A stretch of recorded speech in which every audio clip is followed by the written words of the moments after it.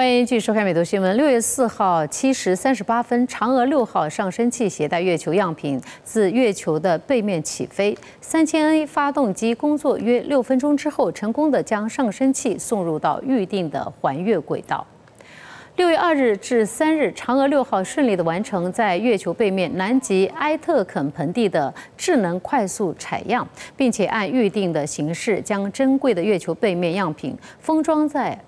呃，上升品携带的上升器携带的贮存装置当中，据中国国家航天局消息，表取完成之后，嫦娥六号着陆器携带的五星红旗在月球的背面成功的展开，这是中国首次在月球背面独立动态展示国旗。后续呢，上升器将会与在环月轨道上等待的轨道器和返回器组合体进行月球轨道的交会对接，并且将月球样品转移到返。返回器中，轨道器和返回器组合体呢将会环月飞行，等待合适的返回时机进行月地转移。在地球附近，返回器将携带月球样品载入大气层，计划降落在内蒙古四子王旗的着陆场。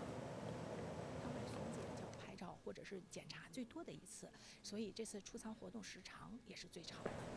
Jelajahi cara baru mendapatkan informasi. Download Metro TV Extend sekarang.